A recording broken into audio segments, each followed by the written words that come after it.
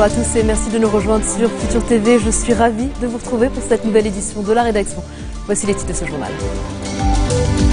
La présidentielle syrienne au Liban joue les prolongations. L'affluence massive d'électeurs syriens a causé d'énormes embouteillages sur les routes menant à l'ambassade. Samir Jarja accuse le Hezbollah d'affaiblir l'État. Le chef des forces libanaises évoque un sondage selon lequel la majorité des Libanais considèrent que c'est le 8 mars qui torpille l'élection présidentielle.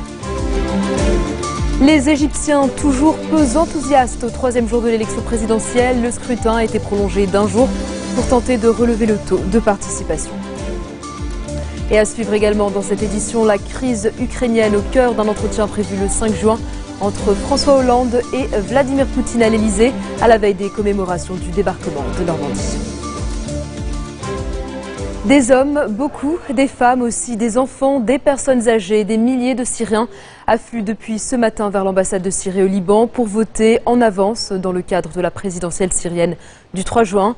Un afflux massif qui a causé de gigantesques embouteillages sur les routes menant à l'ambassade qui se trouve à Brabda, à l'est de Beyrouth. Un goulot d'étranglement s'est formé au niveau du ministère de la Défense. En milieu de matinée, l'autoroute était ainsi quasiment bloquée sur la route des vannes, des taxis, des bus remplis d'électeurs syriens. Beaucoup d'entre eux ont choisi de finir à pied. Selon le ministère syrien des Affaires étrangères, 40 000 citoyens sont inscrits sur les listes électorales au Liban. Selon certains témoignages, tous les électeurs ne sont pas venus de leur plein gré. Des opérations de ramassage d'ouvriers syriens auraient été effectuées. En raison de l'affluence importante des électeurs, l'ambassadeur de Syrie au Liban, Ali Abdelkarim Ali, a décidé d'organiser un deuxième jour de vote demain. La présidentielle semble jouer d'avance avec la réélection certaine de Bachar el-Assad.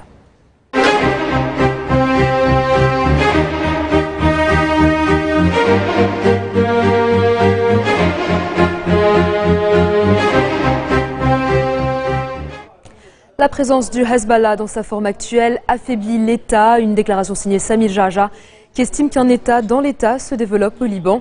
Lors d'un point de presse, le chef des forces libanaises a indiqué que selon les sondages, 63% des Libanais considèrent que c'est le 8 mars qui torpille les élections et moins de 20% d'entre eux pensent que c'est le 14 mars qui est à l'origine du blocage.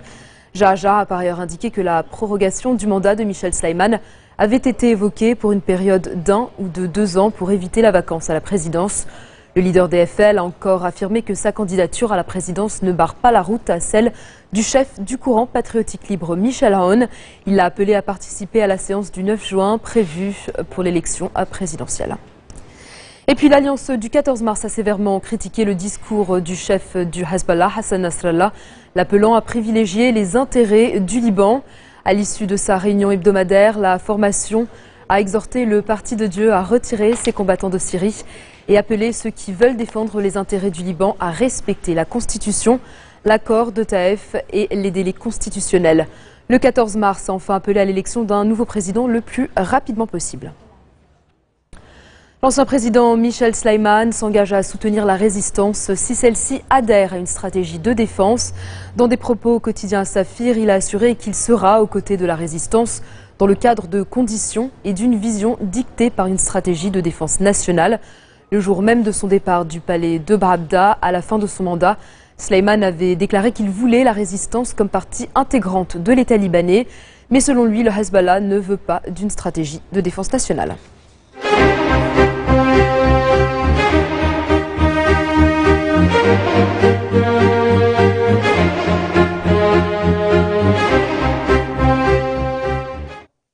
L'armée libanaise a saisi des armes, des munitions et de la drogue dans un bâtiment du Maten et arrêté 14 suspects. La descente a eu lieu mardi soir dans le quartier de Septillé après des informations reçues sur des activités suspectes dans l'immeuble. L'armée a ainsi saisi des armes, des munitions, des grenades, du matériel de communication ou encore de fausses cartes d'identité. Des avions syriens ont effectué ce matin quatre raids à la lisière de la région de Hersel dans l'est du Liban. La région de Wadi Ahmayed a été visée pour la deuxième fois en deux jours. Il n'est pas possible dans l'immédiat de savoir si ces attaques ont fait euh, des victimes. Le tribunal spécial pour le Liban a rejeté la demande d'ajournement de la comparution du journaliste Ibrahim Elamine prévue ce jeudi. Le journaliste et Al-Akhbar, l'organe de presse pour lequel il travaille, sont accusés d'outrage au TSL pour avoir délibérément entravé le cours de la justice. La comparution initiale était prévue le 13 mai, mais a été repoussée à la suite de la requête d'Alamine qui a sollicité un délai supplémentaire pour choisir son conseil. Les accusés peuvent choisir de se rendre au siège du tribunal à La Haye ou de comparaître par visioconférence depuis Beyrouth, à condition que les conseils soient présents en personne. Dans un instant, la première interview d'Edward Snowden à un média américain depuis l'éclatement du scandale de la NSA.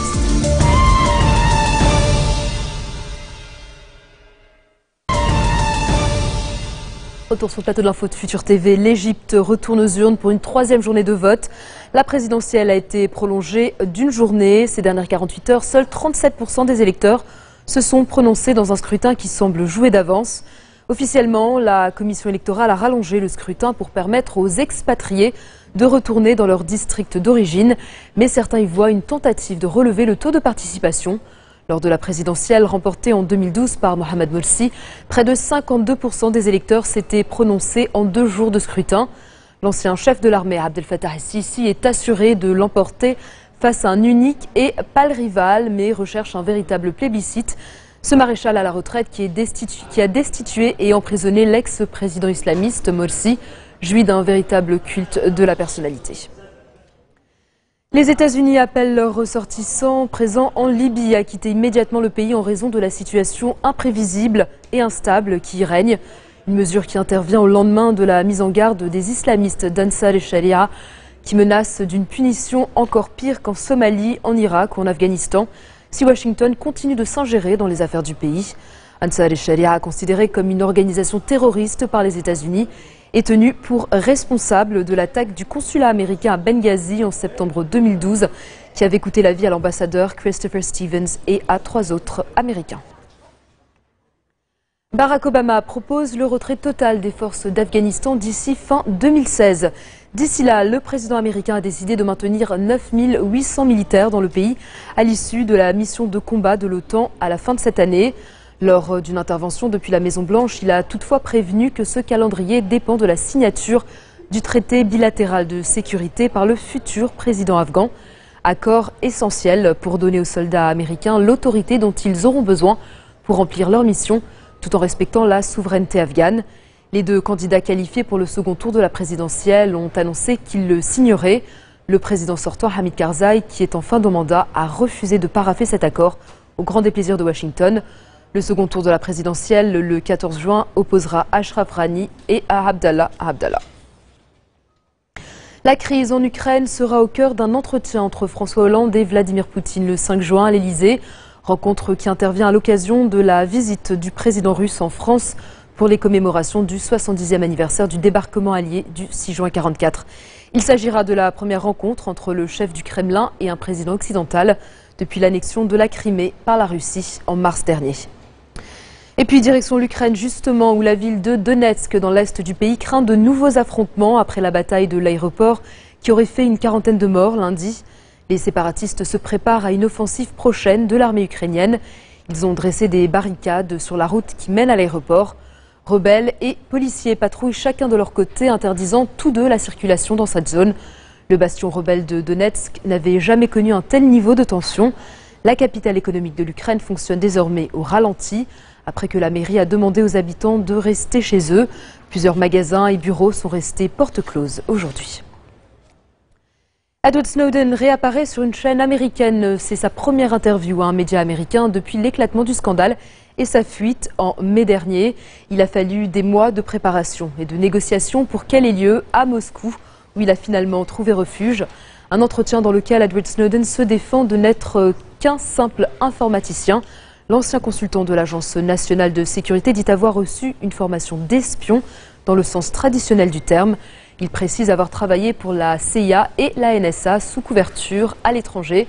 Edward Snowden encourt jusqu'à 30 ans de prison pour avoir révélé l'étendue de la surveillance du gouvernement américain en dévoilant des documents secrets de la NSA sur la captation d'appels téléphoniques aux États-Unis, ainsi que les systèmes d'écoute sur Internet de plusieurs programmes de surveillance du gouvernement américain et de programmes britanniques. Médecins sans frontières évoquent une situation humanitaire urgente en Centrafrique où des milliers de personnes manquent de nourriture. Des violences ethniques et religieuses quotidiennes ont fait des milliers de morts et un million et demi de déplacés. Les 8000 soldats africains et français déployés se sont jusqu'ici montrés incapables d'enrayer cette spirale de violence. Réaction. Et nos équipes hein, euh, nous reportent qu'ils n'avaient jamais vu ça. On a pourtant pas mal de gens expérimentés sur le terrain. Ils n'ont jamais vu une situation nutritionnelle comme ça.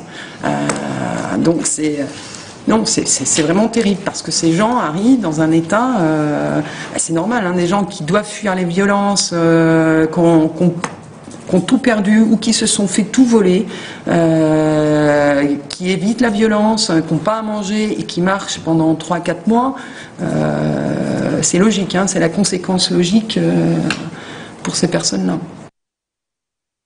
En France, les forces de l'ordre ont entrepris ce matin l'évacuation de trois camps de migrants à Calais qui regroupaient 600 à 800 personnes. Les CRS et policiers ont encerclé le principal camp de migrants candidats à l'exil au Royaume-Uni. Des interprètes ont proposé aux migrants, en plusieurs langues, de monter dans des bus pour être dirigés vers des salles de douche et obtenir de nouveaux vêtements. L'opération d'évacuation, très médiatisée et annoncée par la préfecture à l'avance, avait été anticipée par les migrants qui ont d'eux-mêmes quitté les trois camps de fortune situés sur le port de Calais. Un incendie meurtrier dans un hospice pour personnes âgées plonge un peu plus la Corée du Sud dans le deuil. Le feu s'est déclaré vers minuit dans un établissement du comté de Jangseong et a été maîtrisé en une demi-heure. Mais le bilan est lourd, 21 morts et 6 blessés graves sur les 80 personnes de l'hospice. Un octogénaire souffrant de la maladie d'Alzheimer a été interpellé. Il se pourrait qu'il ait allumé le feu. Les pompiers ont expliqué que toutes les victimes étaient des patients alités, incapables donc de se sauver par leurs propres moyens. À une semaine du 70e anniversaire du débarquement allié en Normandie du 6 juin 1944, l'heure est au dernier préparatif. L'événement va mettre la région Basse-Normandie au centre du monde.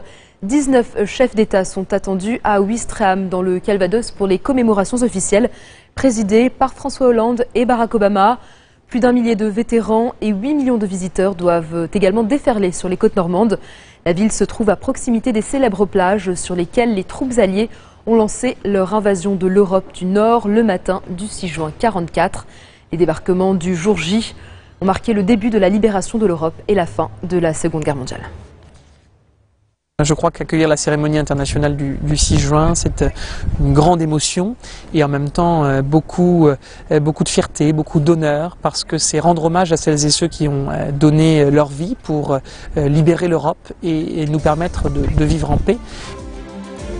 La fin de journal. Tout de suite, le rappel des titres qui ont marqué l'actualité de cette journée.